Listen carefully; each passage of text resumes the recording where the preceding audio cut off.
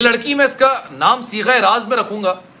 इस लड़की ने अपना नाम लिखा, अपना कॉन्टैक्ट नंबर फ़ोन नंबर लिखा और एफआईआर जो दर्ज कराई, उसमें कहा गया है कि नुमान नामी शख्स ने मुझसे रबता किया। कहा कि मैं आपको गवर्नमेंट जॉब दिला सकता हूँ, तीस हज़ार रुपये मैं आपसे एडवांस लूँगा टोटल रकम पचास हज़ार रुपये की। ये लड़की अपने घर से चलती है, पिंडी पहुँचती है। रावलपिंडी और इस्लामाबाद के किसी मकाम पे उसको बुलाया जाता है होटल पे। वो लड़का आता है, बाइक पर आता है।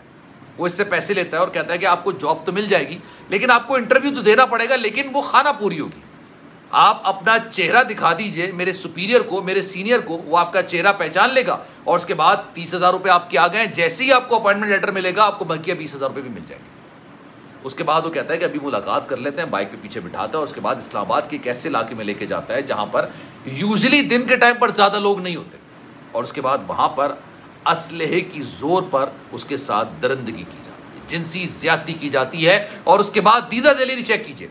इस सारे अमल की वीडियो बनाई जाती है। वीडियो बनाने के बाद वो कहता है कि अगर शोर शराबा किया तो इस वीडियो को मैं लीक कर दूँगा, वायरल कर दूँगा। दीदा दिलेरी चेक करें, उसके बाद वापस उसको बाइक पे बिठाता है और उसके बाद कहाँ छोड़ बसमीम आप सभी को खुश आमदीद। मैं हूँ सलमान मिर्ज़ा और आप देख रहे हैं मेरा यूट्यूब चैनल और Facebook page sum up with Salman Mirza जनाब, बहुत शुक्रिया ये वीडियो देखने के लिए आप सभी ने वक्त निकाला है। वीडियो के आगाज़ में तहे दिल से आप सभी का मैं शुक्रिया अदा करता हूँ, लेकिन इस दुआ के साथ कि आप जहाँ हों खैर आफियत से हों, सेहतमंद हों और तंदुरुस्त हों। जनाब, आज जिस वाक़े पर मैं वीलॉग बना रहा हूँ ना, वो वाक्य जनाब इस तरह का है कि जब मैं इसके बारे में तफसीलात पढ़ा तो यकीन जानिए मेरी आँखों में आँसू आ रहे थे।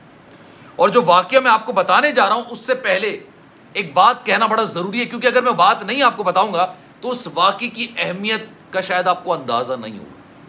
हमारे माशरे का ये अलमिया बन गया है कि हम दूसरे की कमज़ोरियों का फ़ायदा उठाते हैं। आपको पता है, हमारे दीन के अंदर, ये कहा जाता है, ये बात कही जाती है, एक मौलवी साहब ने, आलम दीन ने मुझे बताया था कि अल्लाह के नज़दीक ये अमल इंतहाई नापसंदीदा है कि कोई इंसान, कोई मुसलमान दूसरे मुसलमान की मजबूरी का फ़ायदा उठाए। किसी इंसान की मजबूरी का फ़ायदा उठाना अल्लाह के लिए सबसे ज़्यादा नापसंदीदा अमल में शुमार किया जाता है। लेकिन हमारी तरफ़ आप देख लीजिए क्या हो रहा है। रमज़ान आते हैं, फ्रूट की कीमतों में इजाफा हो जाता है। लेकिन चलें ये, फिर भी काबिल कबूल है। मैं इसकी तरफदारी नहीं करता, लेकिन ज़ख़ीर अंदोजू होती है, दस चीज़ें होती हैं तमाम लेकिन एक लड़की की इज़्ज़त के साथ खेलना वो लड़की जो कि अपना और अपने घर वालों की कफालत करने के लिए पेट पालने के लिए, बाहर निकली है नौकरी की तलाश में। मजबूर है, परेशान है। उसकी मजबूरी का फ़ायदा उठाया गया और इस्लामाबाद, विफाकी दारकूमत इस्लामाबाद, जहाँ पर पाकिस्तानियों के फैसले किए जाते हैं, पाकिस्तानियों की तकदीर के फैसले किए जाते हैं, वहाँ पर दिन दहाड़े, मैं रात की बात नहीं कर रहा, दिन दहाड़े उसके साथ ज्यादती की गई। मुझे यकीन जानी, मैं बात कर रहा हूँ ना, मेरे रोंगटे खड़े हो रहे उसके साथ जिस तरह का अमल किया गया ना, यकीन जानिए, वो कोई जानवर तक नहीं कर सकता है।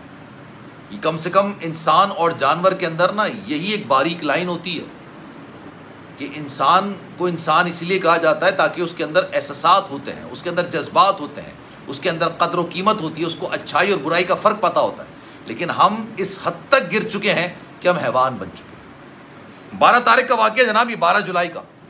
एक लड़की ने एफआईआर दर्ज कराई है, पूरा वाक्य आप सुनिएगा यकीन जानिए, हम लोगों को अपने इंसान होने पर शर्म आएगी। ये लड़की एफएससी पास होती है।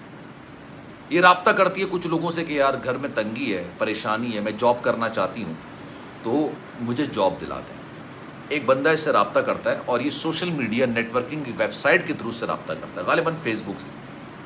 उससे रबता करा और कहता है कि जनाब, मैं गवर्नमेंट मुलाजिम हूँ मैं इस महकमे में काम कर रहा हूँ और मेरा नाम नुमान है। मैं इस महकमे में गवर्नमेंट मुलाजिम हूँ और मैं आपको ये जॉब दिला सकता हूँ। गालिबा एजुकेशन के डिपार्टमेंट था ये लड़की कहती है, यार, आप जॉब दिला दीजिए, मैं आपकी बड़ी ममनून होंगी, आपकी शुक्रगुजार होंगी। वो कहता है, एक काम करो, तुम इस्लामाबाद या पिंडी की तरफ़ आ जाओ। मैं तुम्हें जॉब तो दिला दूँगा, लेकिन इसमें एक मसला है और वो मसला सॉल्व नहीं होगा तो आपको जॉब नहीं मिल पाएगी। कहती है, क्या मसला है? लड़का कहता है कि भाई, आपको पचास हज़ार रुपये रिश्वत देना पड़ेगी, क्योंकि मुझे अपने ऊपर वालों को खिलाना पड़ता है। इसलिए जब तक आप पचास हज़ार रुपये नहीं देंगी, मैं ये मामला आगे प्रोसीड नहीं करा सकता। लड़की इधर उधर से मांगती है पैसी बेचारी। इससे मांगे, उससे मांगे, किसी ना तरीके से करके पचास हज़ार रुपये कलेक्ट करती है। और उसके बाद बताई हुई तारीख पर वो इस्लामाबाद के लिए रवाना होती है। पिंडी में इनकी मुलाकात होती है, ढाबे पर इनकी मुलाकात होती है, वो जो लड़का ना, वो बाइक पर आता है। बाइक पर आता है और उससे कहता है कि जनाब, तीस हज़ार रुपये आपने अभी देने हैं।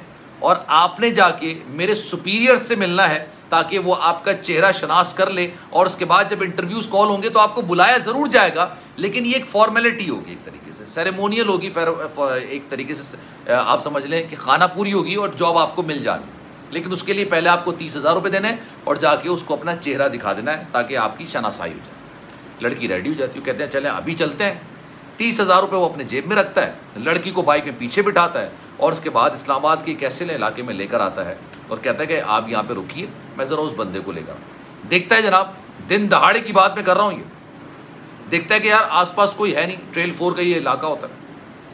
वहाँ पर ये फिर हथियार निकाल लेता असलहा निकाल लेता है और उसके बाद असलहे के ज़ोर पर उसके साथ ज़्यादती करता है। उसके साथ ज़्यादती करता है और उसकी वीडियोज़ बनाता जब ये सारा अमल हो चुका होता है ना मतलब दरंदगी का नंगा नाच हो जाता है आई एम सॉरी टू से मैं इस तरह के वर्ड्स इस्तेमाल कर रहा हूँ, लेकिन जब ये सब कुछ हो जाता है तो फिर वो लड़की को धमकी देता है कि तुम्हारे तीस हज़ार रुपये तो गए। लेकिन अगर तुमने शोर शराबा किया तो तुम्हारी ये वीडियोस भी लीक कर दी जाएँगी और ज़िंदगी में तुम्हें कभी जॉब नहीं मिल पाएगी। वो लड़की को दोबारा बाइक पे बिठाते हैं, आप दीदा दिलेरी चेक करें। इस सारे अमल के बाद वो भागता नहीं है। वो उस लड़की को दोबारा बाइक पे बिठाता है और उसी होटल पे छोड़ता है जहाँ से उसने उसको पिक किया होता है। वहाँ पर छोड़ता है और उसके बाद यहाँ से वहाँ चला जाता है। अब इस पूरी कहानी के जो कि सच्चा वाक्य है, इसके दो पहलू हैं। एक पहलू तो यह है कि जनाब, आपने एक ऐसी लड़की का फ़ायदा उठाया जो लड़की रोज़गार की तलाश के लिए बहालत मजबूरी घर से बाहर निकली। मजबूरी के आलम में, मजबूरी की कंडीशन में वो घर से बाहर निकली।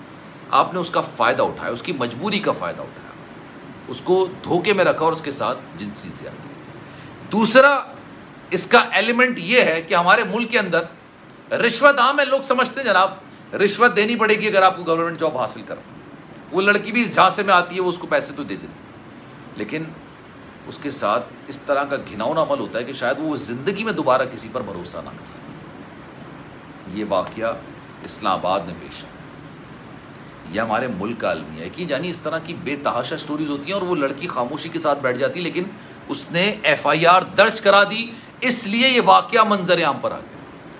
अगर वो एफ़ आई आर दर्ज नहीं कराती तो ये वाक़ किसी भी तौर पर मंजर आम पर नहीं खैर जनाब, इस बारे में आपकी राय क्या है? मैं चाहूँगा कि आप कमेंट सेक्शन में बिराए का इजहार ज़रूर करें। सलमान मिर्ज़ा को दीजिए इजाज़त। ज़िंदगी रही, सेहत रही और आपकी दुआएँ रही तो इन आपसे फिर मुलाकात होगी। जाने से पहले गुजारिश, अगर आपने चैनल सब्सक्राइब नहीं किया, सलमान मिर्ज़ा ऑफिशियल मेरे यूट्यूब चैनल को सब्सक्राइब ज़रूर करें। बेल आइकन ज़रूर दबाएँ, अपना बहुत ख्याल रखिएगा। अल्लाह